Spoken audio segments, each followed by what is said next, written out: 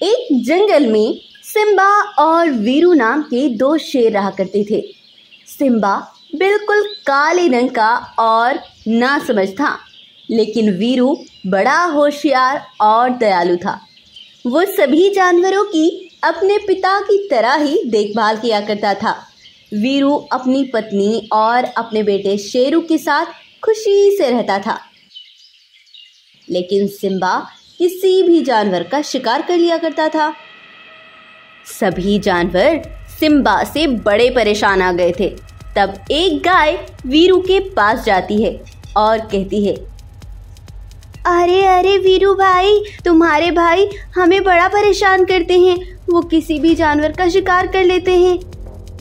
तब वीरू सिम्बा के पास आता है और कहता है, अरे सिम्बा, यह तुम क्या कर रहे हो? आखिर तुम जानवरों का शिकार करना कब छोड़ोगे? आगे से तुमने ऐसा किया तो अच्छा नहीं। वीरू के इतना रोकने के बावजूद भी सिम्बा जानवरों का लगातार शिकार करता रहता है। अब सभी जानवर उससे परेशान होकर फिर से वीरू के पास जाते हैं और उसकी फिर से शिकायत लगाते हैं। तब वीरू सिम्बा को बुलाता है और गुस्से में बोलता है सिम्बा तुम्हें मैंने प्यार से बहुत समझा लिया है लेकिन तुम्हारी समझ में बिल्कुल नहीं आता। तुम अभी के अभी यह जंगल छोड़कर चले जाओ नहीं तो आज ये सभी जानवर तुम्हें जान से मार डालेंगे। तब सिम्बा गुस्से से वो जंगल छोड़कर चल देता है। कुछ दूर जाने के बाद सिम्बा को दूर खड़े तीन रंगीन शेर देख रहे थे। अरे भाइयों ये तो वीरू का ही भाई सिम्बा है। ये तो बड़ा गुस्से में है। चलो चलकर पूछते हैं आखिर क्या बात है? तब वो तीनों सिम्बा के पास जाते हैं और बोलते हैं अरे अरे सिम्बा भाई क्या बात है? तुम इतने गुस्से में क्यों हो? मुझे मेरे भाई वीरू ने जानवरों के साथ मिलकर जंगल से निकाल दिया है। वो खुद को बहुत होशियार समझता है। यह सुनकर एक रंगीन शेर सोचता है। अरे ये तो और भी अच्छा मौका है वीरू को मरवाने का। अरे सुनो सिम्बा भाई, वीरू ने तुम्हारे साथ बहुत बुरा किया। तुम्हें उससे अपना बदला लेना होगा। नहीं तो सभी जानवर तुम्हें कमज़ोर समझेंगे। तब सिम्बा उनकी बातें सुनकर और भी गुस्सा हो जाता है और वो वीरू से बदला लेने की ठान लेता है और वो रात होने पर उन रंगीन शेरों के साथ मिलकर वीरू को मरवा देता है। तभी वहीं पर खड़ी एक गाय यह सब देख लेती है। तब शेरनी अपने बेटे को लेकर उसके पास जाती है। सुनो गाय गाय बहन, ये दुष्ट शेर मेरे बेटे को भी मार डालेंगे। तुम इसे लेकर यहाँ से भाग जाओ। तब गाय शेरनी के बेटे को लेकर वहाँ से दूसरे जंगल चली जाती है और वो रंगीन शेर शेरनी को भी जान से मार डालते हैं। और तब सिम्बा से कहते हैं सुनो सिम्बा हम यहाँ पर वीरू को ही मारने आए थे लेकिन तुमने खुद ही अपने भाई को मरवा डाला। अब हम तीनों इस जंगल पर राज करेंगे। तब वो तीनों शेर सिम्बा को एक पिंजरे में कैदी बना लेते हैं। धोखेबाज शेर तुमने मेरे साथ बहुत गलत किया है। तुम्हें इसकी कीमत चुकानी होगी। तब वो तीनों रंगीन शेर वीरू को मारकर और सिम्बा को कैद करके खुद जंगल पर राज करते हैं। और वो तीनों रोज किसी ना किसी जानवर का शिकार कर लिया करते थे। अब कुछ साल बीत गए। गाय, शेरनी के बेटे शेरू को लेकर इस जंगल पहुँचती है और उसे उसके बचपन में बीती हुई सारी बातें बताती है। पहले तो शेरू को अपने माता पिता की मौत के बारे में ये सुनकर बड़ा दुख होता है। साथ ही उसे उन रंगीन शेरों पर भी बहुत गुस्सा आता है। तो बताओ गाय माँ मेरे चचा सिम्बा अभी कहाँ पर होंगे? बेटा तुम्हारे चचा को उन तीन रंगीन शेरों ने एक काली पहाड़ी के पीछे कैद कर रखा है। तब शेरू जल्दी से अपने चचा के पास पहुँचता है और उन्हें आज़ाद करा लेता है। तब सिम्बा दुखी मन से शेरू से कहता है, मुझे माफ़ कर देना बेटा। मैंने उन रंगीन शेरों के बहकावे में आकर तुम्हारे पिता को मरवा डाला था। मुझे माफ़ कर दो। अब ये बातें करने का समय नहीं है। चलो, पहले हमें उन रंगीन शेरों से अपना बदला लेना होगा। तब वो दोनों उन रंगीन शेरों के पास पहुँचते हैं। रंगीन शेर अब तुम्हारा ऊपर जाने का समय आ गया है। अब तुम्हें अपने किए की सजा भुगतनी होगी।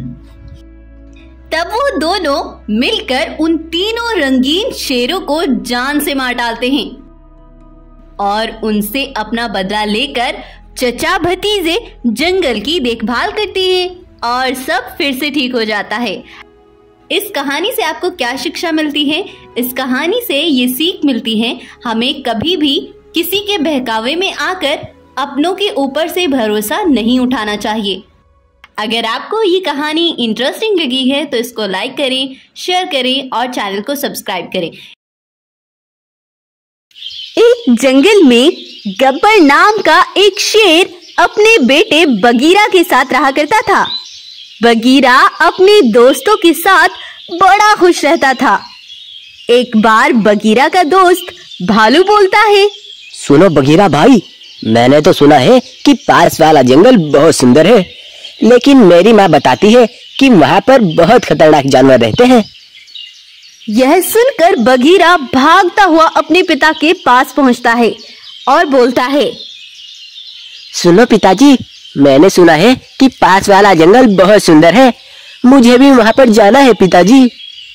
यह सुनकर गब्बर बड़ा परेशान हो जाता है और साथ ही दंग भी रह जाता है।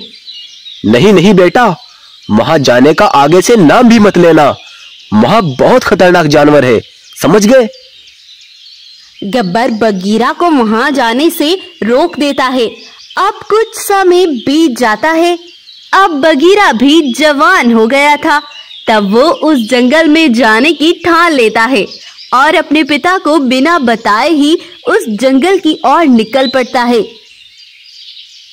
उस जंगल में पहुंचकर बगीरा ने जो देखा, उसको देखकर बगीरा की आँखें फटी की फटी रह गई।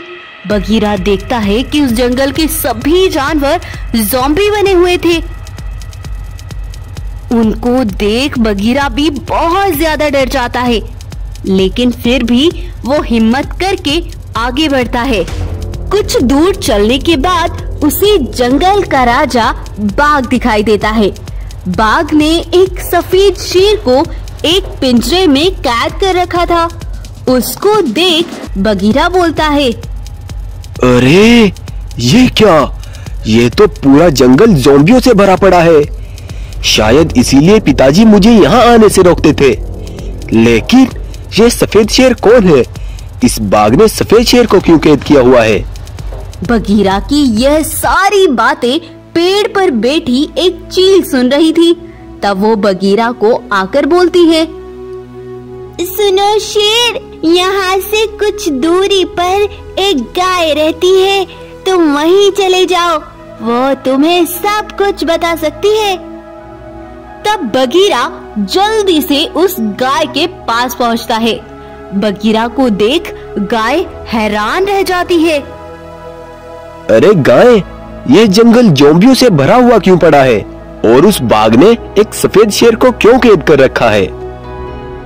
बेटा ये एक बहुत बड़ी कहानी है। चलो मैं तुम्हें सब कुछ बताती हूँ। अब से कुछ साल पहले सिम्भा सफ़ेद शेर तुम्हारे पिता इस जंगल के राजा हुआ करते थे। तुम्हारे पिता के दो दोस्त थे, जो तुम्हारी गुफा पर ही रहते थे। उनमें एक का नाम गब्बर शेर था और दूसरा बंटी बाघ गब्बर शेर तुम्हारे पिता का एक वफादार दोस्त था, लेकिन बंटी बाघ तुम्हारे पिता से छिपकर जानवरों का शिकार भी कर लिया करता था। एक बार ऐसा हुआ बेटा कि बंटी बाघ को शिकार करते गब्बर शेर ने देख लिया। और गब्बर ने आकर तुम्हारे पिता को उसकी पूरी हकीकत बता दी। कुछ देर बाद बंटी वहाँ पहुँचता है तो देखता है कि वहाँ पर सभी जानवर सिम्भा और गब्बर के साथ खड़े हैं। क्या हुआ भाइयों? आप सब यहाँ पर क्या कर रहे हो? बंटी, हमें सब पता चल चुका है। कि वो शिकारी तुम ही हो जो जानवरों का शिकार करता है। अब ये सभी जानवर तुम्हें जान से मार डाले। उससे पहले ही तुम यह जंगल छोड़कर यहाँ से दफ़ा हो जाओ। तब बाघ गुस्से से आग बगुला होकर वहाँ से चला जाता है। सिम्बा सभी जानवरों के सामने मेरी बेजती करने का हिसाब तुम्हें देना होगा। एक दिन मैं तुमसे इसका बदला लेकर रहूँगा। बंटी ऐसे ही गुस्से में हमारे जंगल से बहुत दूर निकल जाता है। वहाँ अचानक एक जोम्बी तेंदुआ उस पर हमला करके भाग जाता है, जिससे बंटी बाघ भी एक जोम्बी बन जाता है। पहले तो बंटी बहुत परेशान हो जाता है, लेकिन फिर वो सोचता है, अरे, अगर मैं एक जोम्बी बन ही गया हूँ तो मैं सिम्बा से अपना बदला लेकर रहूँगा। तब बंटी बाघ फिर से जंगल घुस आता है और जानवरों को मारना शुरू कर देता है। जानवर मरते ही एक जॉम्बी में बदल जाते थे।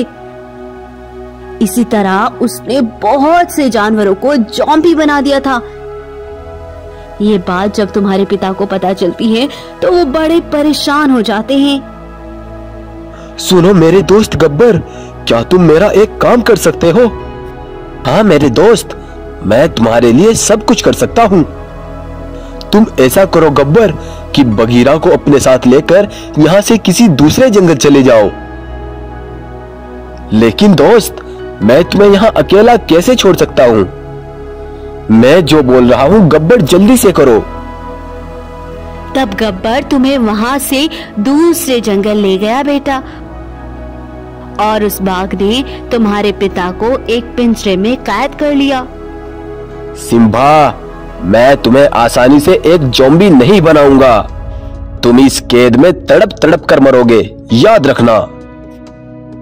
बेटा तुम्हारे पिता अभी भी ज़िंदा हैं, लेकिन हम उन्हें आज़ाद नहीं करा पाए बेटा। नहीं गाय मैं उन्हें आज़ाद कराऊँगा और उस बाघ से अपने पिता का बदला भी लूँगा। लेकिन बेटा वो कैसे? क्या जंगल में कुछ जानवर ठीक है जो अभी जोम्बी ना बने हो? हाँ बगीरा अभी कुछ जानवर बिल्कुल ठीक हैं। तो तुम उनसे ढेर सारा मांस इकट्ठा कराओ और उसमें बेहोशी की जड़ी बूटियाँ मिला देना। मैं आज बंटी की दावत करूँगा। इतना बोलकर बगीरा एक जॉम्बी शेर की खाल पहन लेता है और बंटी के पास पहुँचता है। अरे शेर, तुम कौन हो और कहाँ से आए हो? अरे बंटी दोस्त, मैं भी एक जोम्बियों के जंगल से आया हूँ। मैं तुम्हारा दोस्त बनना चाहता हूँ। इसीलिए मैंने आज तुम सभी जोम्बियों की दावत का इंतज़ाम किया है। तब बंटी जंगल के सभी जोम्बी जानवरों के साथ बगीरा की दावत पर पहुँचता है।